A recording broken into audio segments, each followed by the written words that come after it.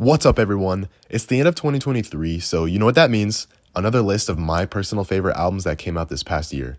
If you ask me, the last video I made on this back in 2022 is personally one of my favorite videos I've ever made, so I want to turn this into an annual tradition on my channel.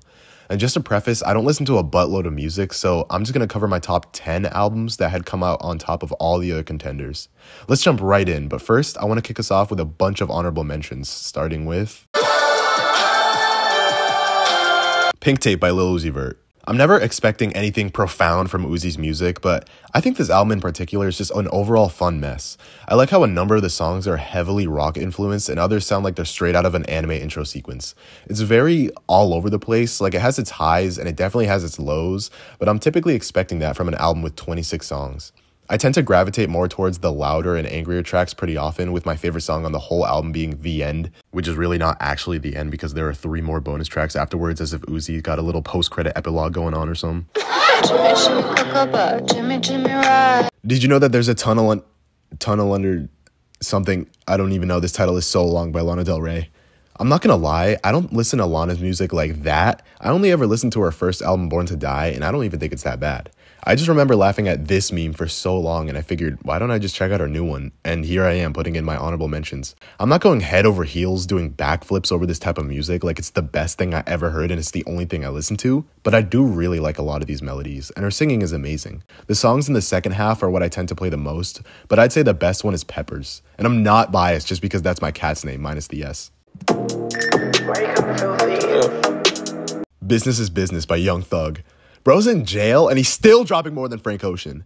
This is nowhere near his best album, but I still think it has a lot of great highlights that are so hard not to come back to regularly. This is that type of music I'm blasting in the shower if my ego's been inflated a little bit. This is definitely that music I'm rolling my windows down to. This one is constantly in my rotation for my feel good music, and my favorite song is Money on the Dresser. Heaven Knows by Pink PinkPantheress. This one is pretty cool. I think it overall encapsulates the soft core, girly, bedroom, dance, pop vibe that PinkPantheress is going for. Ever since day one, back when her song Pain was poppin', I knew she was capable of a fully fledged out album, and this is a great debut with some great production. My favorite song, despite Benny X producing one of them, has gotta be Feel Complete. Ooh Rap I Ya by George Clanton. This album has got some of the best collection of world building instrumentals I've heard in a while. I took a trip to Peru this past summer, which I'm gonna mention a few more times throughout this video, and I downloaded a bunch of albums I'd never yet listened to just because there were a lot of points where we didn't have any service. I ended up spending a lot of time with this album, and now whenever I bump it, I always relate it back to that vacation. Great experience.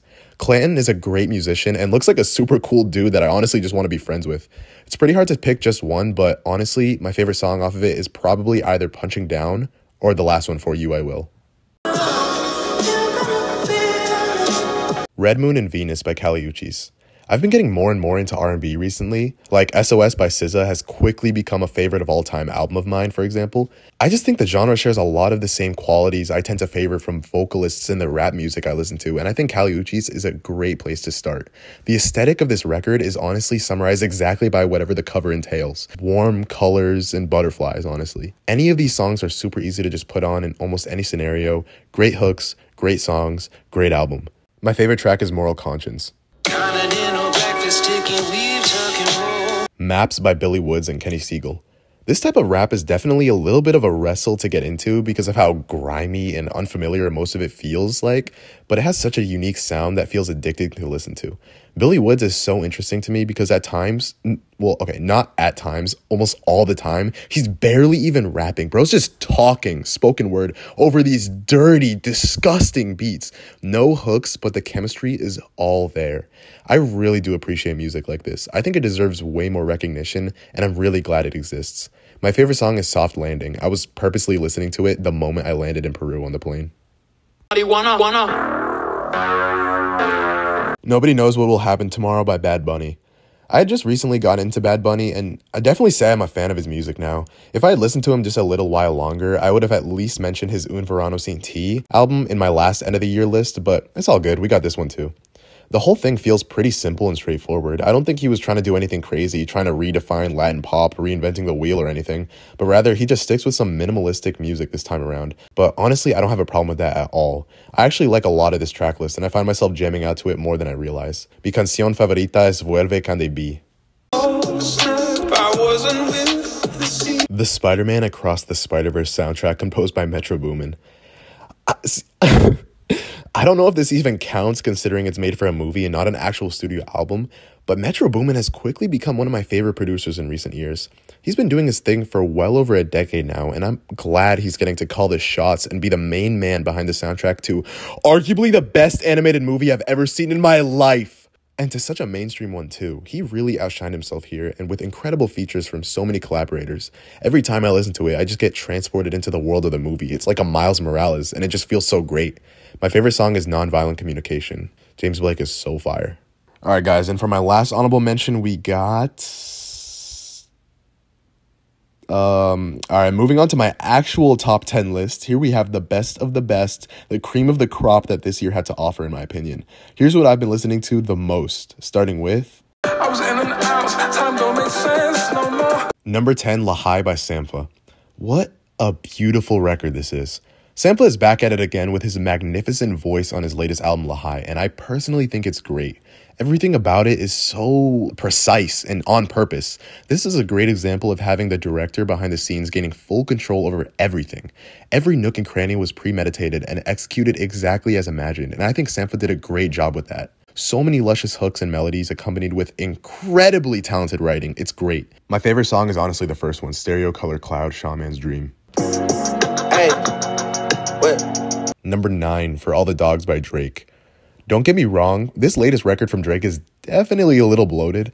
I think what he does nowadays, and not even just Drake, but a lot of mainstream artists who overwhelm their tracklist to the max, is just doing it for the streams and not actually putting songs on the cutting board.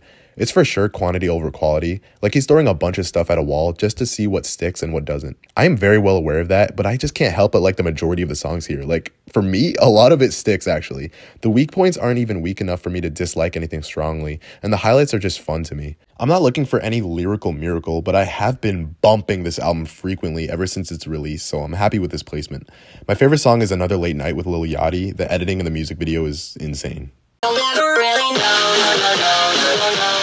Number eight, 10,000 gecs by 100 gecs. I, I, I mean, I get why people hate on 100 gecs, but their music is good.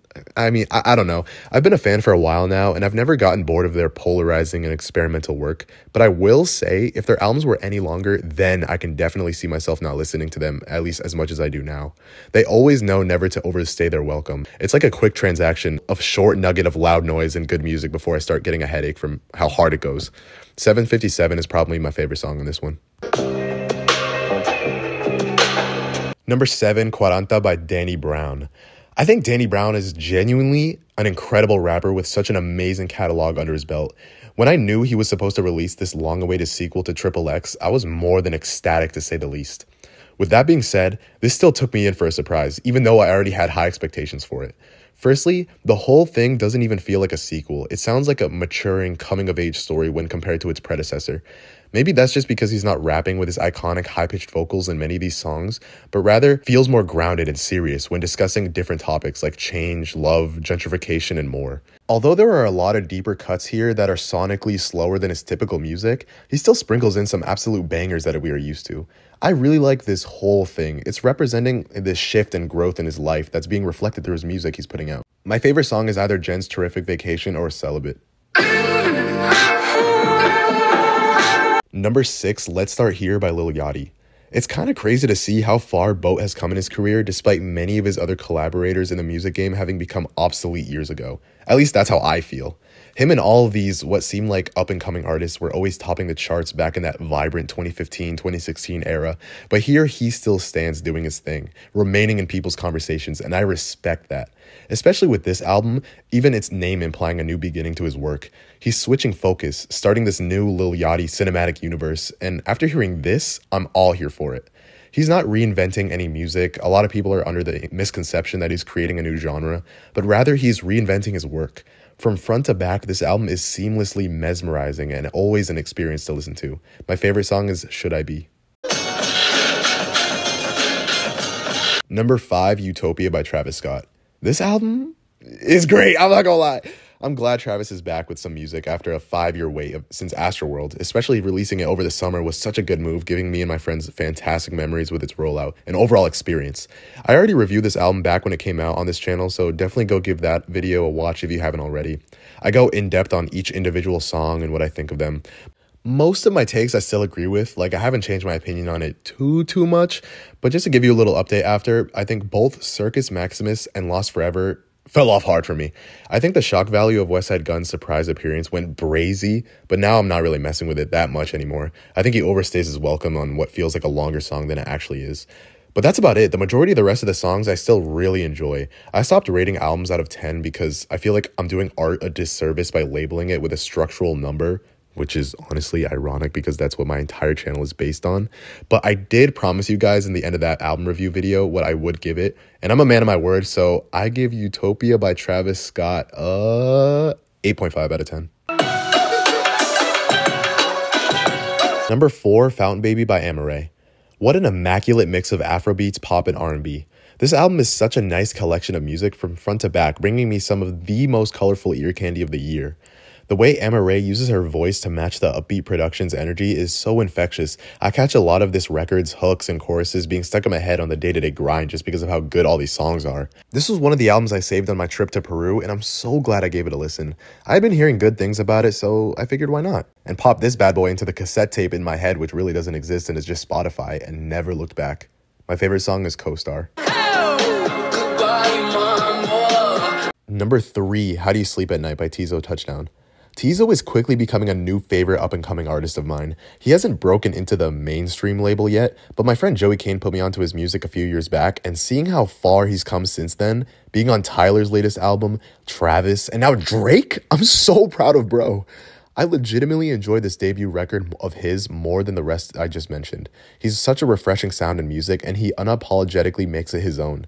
He's so unique, and that's what I like in music, making his work groovy and even funny at times. I'm super excited for the future of his career, and I look forward to what he has in store for us next. Whether his album is a more repolished version of this one, or even if it's something completely different, I cannot wait. My favorite song here is definitely, uh. Number two, Guts by Olivia Rodrigo.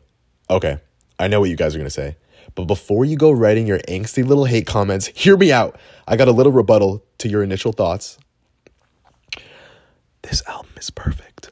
I've been saying this since it came out, and I will continue to say it indefinitely. My friends do not see the vision because, oh, it's too girly. Oh, I don't like her voice. No. For what it is, Firstly, it's such a vast improvement on her last album, Sour, which I also enjoyed, by the way. But this one just, she takes every resource that she has within her grasp to her advantage and writes some of the catchiest and best written music I've heard all year, mixing rock and pop together.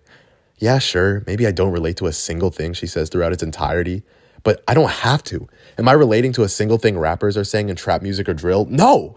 But do I thoroughly enjoy the music and appreciate what it's doing for its dedicated audience? Absolutely. With all that said, my favorite song on here is Ballad of a Homeschooled Girl.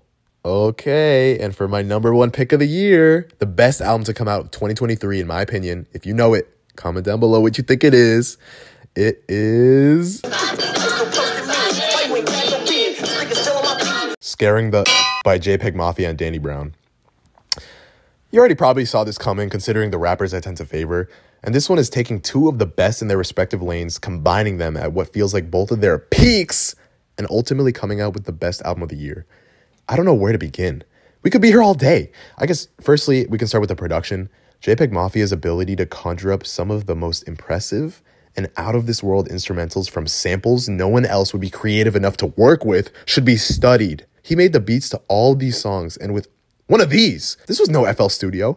His dynamic alongside Danny Brown, who, you know, I already gave my recognition to earlier in this video in the number seven spot, was outrageous. And this has become one of the best rap albums I've heard in recent years. Even the writing behind this album is a commentary on not following the crowd and doing whatever you want to do, no matter how weird it is. Listen to whatever music you want to listen to, and in this case for Peggy and Danny, make whatever you want to make, despite it not being considered traditional. My favorite song on it is the title track. But, anyways, those are my favorite albums to have come out this year. I listened to more, but I wanted to keep it short and really emphasize how truly exclusive and special these ones are. If there are any I missed that you like, feel free to comment some recommendations you have for me. I'm always looking for some new music to listen to, and I'm really open minded to whatever it is, so let me know down in the comments below. And if you like this sort of video, make sure to like and subscribe for more content like this. But, anyways, that's about it from me. I'll see y'all in the next one. See ya.